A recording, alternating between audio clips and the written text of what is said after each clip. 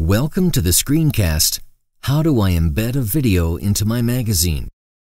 Use Yumpu to create interactive PDFs quickly and effortlessly. We'll start on the home page and select the menu item My Magazines. This opens the Document Manager.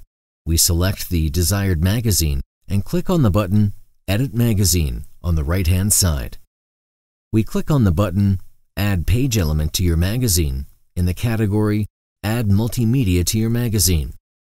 This opens the editor for multimedia elements, which is named Hotspot Editor. Here, you can embed videos, for example, from YouTube or Vimeo, sounds, or even more pictures into your magazine. And of course, external links as well, for example, to your online shop. From the right panel, we select the page on which we want to create our video hotspots. To do so, we deactivate the corresponding checkbox under Tools on the left-hand side. We draw a frame right where we want to place our video, in the exact size that we want the video to have. Important, the video must have a minimum size of 5 by 5 pixels and cannot be larger than the page. It should have a unique name so it can easily be identified. These settings can be seen right next to the magazine. First, we will give the magazine a name, in our case, Yumpu Promo Video.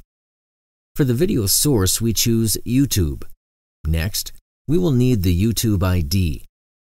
We open our video on youtube.com. We can easily find the ID in the address bar of our browser at the very end of the address, after the equal sign. We copy the ID and go back to the hotspot editor. There, we will insert the ID and click Save.